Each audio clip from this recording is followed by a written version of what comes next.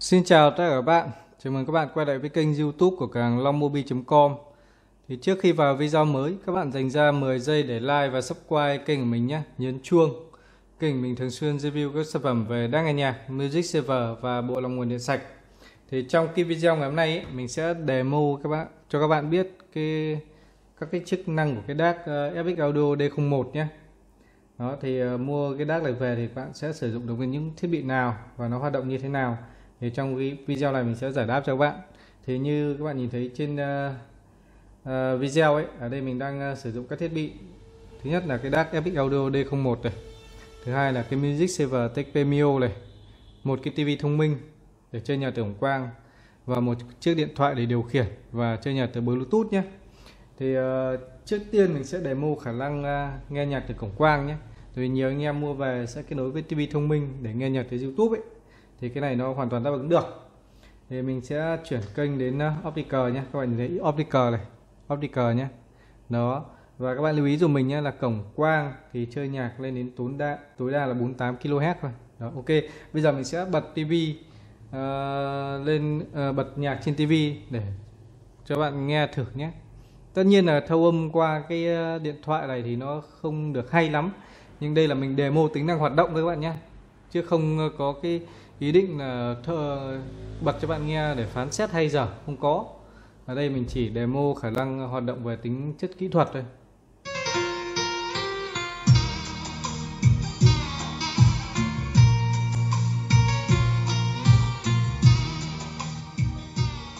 To nhỏ này.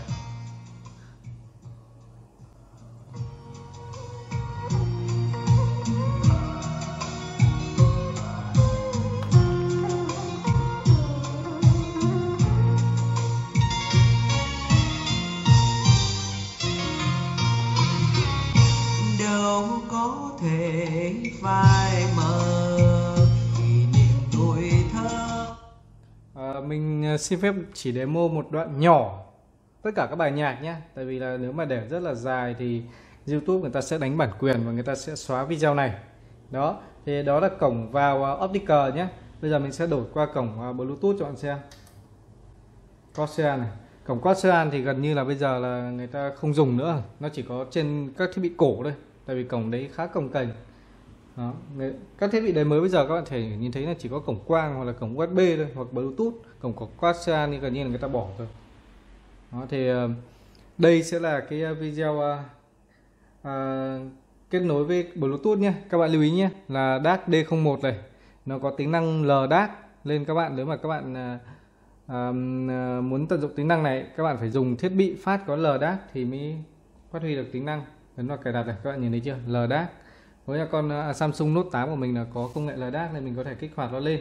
Thì trước khi kích hoạt tính năng này mình sẽ cho bạn sự biết sự khác biệt giữa nghe có LDAC và không có LDAC thì nó như thế nào. Thế đây là mình chưa kích hoạt nhé. Và mình sẽ uh, mình sẽ bật một bài nhạc. Đó. Mình sẽ một bật một bài nhạc không có LDAC nhé.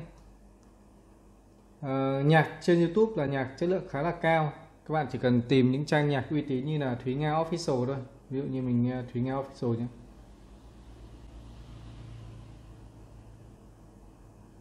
Official có nghĩa là trang gốc ấy. Trang ờ, có đầy đủ bản quyền của cái nhạc Thúy Nga ấy. đây lại ra Thúy Nga. Thúy Nga danh hài nữa rồi. Thôi cứ sức đại một bài đi. Paris by Night. Đó, các bạn nhìn này logo Thúy Nga Official đây. Đấy. 4,65 triệu người đăng ký nhé các bạn có thể bật bài bất kỳ.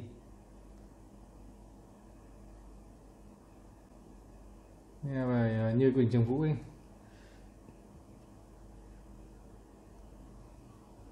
Đó. đó chính là cái app tốt này nè. Tại app à, bất thường các bạn để ý cái tần số lấy mẫu nhé nếu mà chưa bật LDAC ấy, thì tần số lấy mẫu nó chỉ là 44.1 kHz thôi các bạn lưu ý là như vậy. Đây mình sẽ bật tiếng.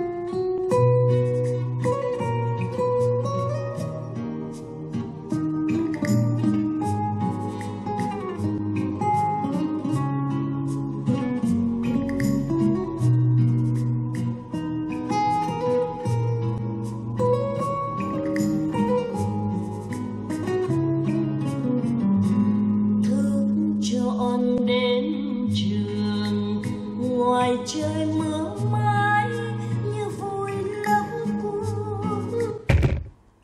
ờ, ok. Thế bây giờ mình sẽ bật lờ đác lên cho các bạn xem nhé.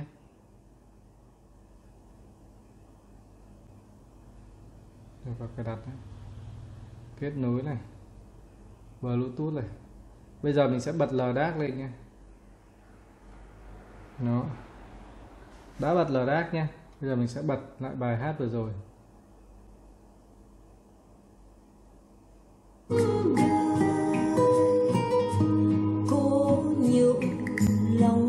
Các bạn để ý tần số lấy mẫu nó lên 96 kHz đó.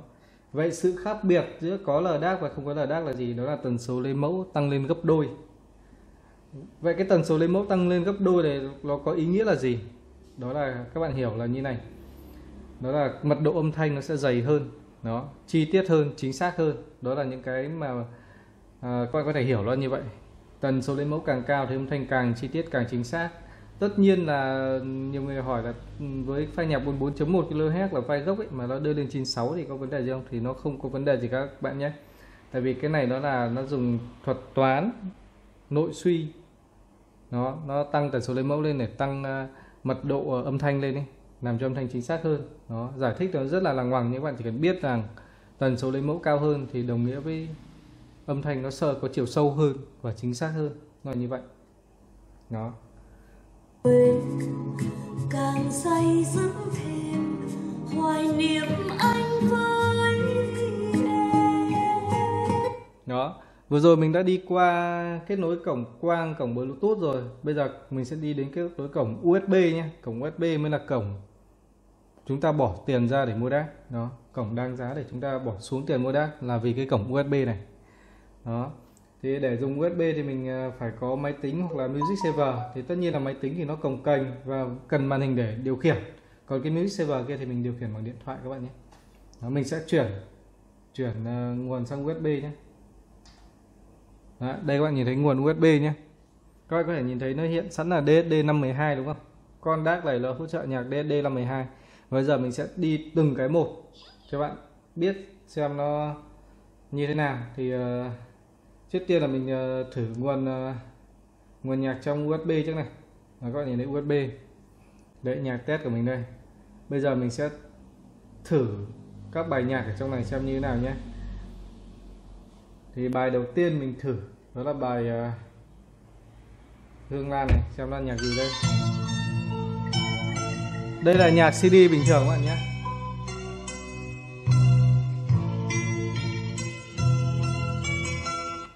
Các bạn nhìn thấy tần số lấy mẫu đó là 44.1 kHz kia, đó là nhạc chuẩn CD bình thường. Nói chung là CD nó ra đời từ năm 1970 rồi.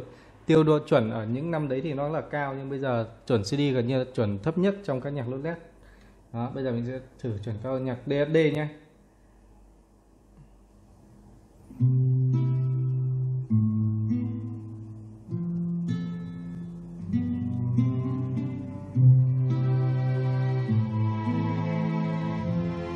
Các bạn nhìn thấy chữ DSD 128 kia đó. DSD 128 nó nghĩa là gì? Có nghĩa là tần số lấy mẫu cao hơn CD gấp 128 lần. Đó các bạn thấy tần số lấy mẫu của CD là 44.1 kHz nhé nhân với 128 thì nó sẽ ra tần số lấy mẫu của DSD 128 và cái hậu tố đằng sau chữ DSD 128 ấy, ám chỉ là nó cao hơn, tần số lấy mẫu cao hơn CD gấp bao nhiêu lần? Nó cao hơn thì đồng nghĩa với việc là chính xác hơn. Còn anh, nhiều anh em bảo là nghe nhạc DD không thấy hay. Thật ra là hay dở là tùy tai mỗi người thôi. Nhưng mà chính xác thì nó nằm ở thiết bị. Và cái sự chính xác này này, nó thể hiện ở thông số, chứ không phải ở cái cảm nhận của mỗi người được đúng không? Chính xác thì nó chỉ có một đáp án thôi, chứ còn bảo hay dở thì nó có rất nhiều đáp án. Hay với người này, không hay với người kia, nó rất là nhiều. Đó. Bây giờ mình sẽ thử DSD 256 nhé Con này nó hỗ trợ đến DSD 512 cơ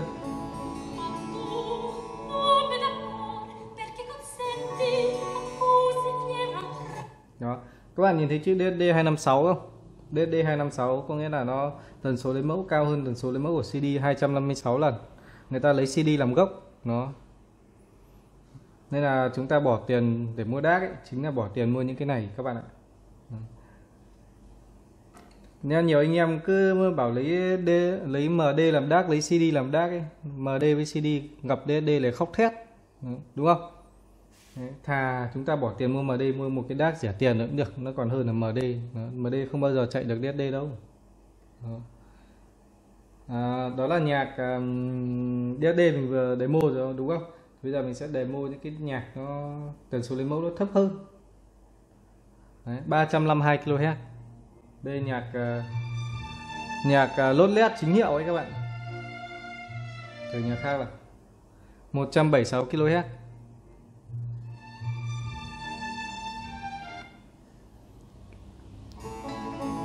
một trăm chín hai kHz nhé.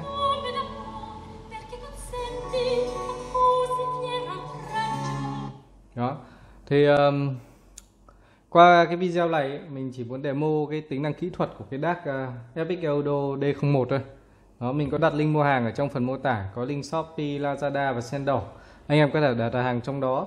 Và anh em lưu ý dùng mình nhé là Shopee và Lazada là không cho mở hàng ra kiểm tra. Còn Sendor được mở ra xem nhưng không được cắm thử. À, nhiều anh em ờ, băn khoăn chưa mua hàng trên Shopee, Lazada bao giờ ấy, thì uh, vẫn sợ mình gửi cục gạch ấy. Thì có một mẹo như này cho anh em. Đó là anh em thanh toán tiền xong, quay lại video quá trình mở hộp. Nếu mà mở ra là cục gạch, hoặc là không đúng hàng, hoặc là hàng bị vỡ hay như nào, anh em cứ gửi video cho Lazada và Shopee. Người ta sẽ hoàn tiền cho anh em trong vòng 7 ngày làm việc. Đó.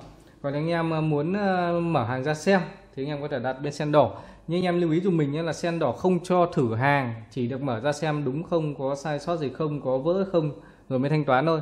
Chứ không, người ta không cho thử nhé. Tại vì mình gặp rất nhiều bác rồi, đến thì mới đầu mình cũng bảo là cho ờ, xem hàng ấy nhưng mà cứ bắt thử thế là shipper người ta lại gọi điện lại hào hàn hàng về. Nó rất là mất thời gian của hai bên.